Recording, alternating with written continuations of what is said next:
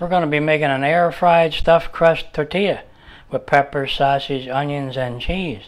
Okay, let's get started making our stuffed crust. Piece of American cheese right in the middle here. We're going to need to wet the edges down a little bit.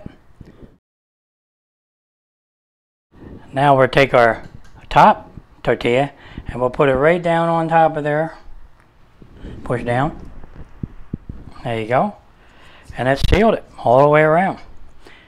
Now we're going to add our toppings to our tortillas with peppers, sausage, onions, and cheese and start air frying.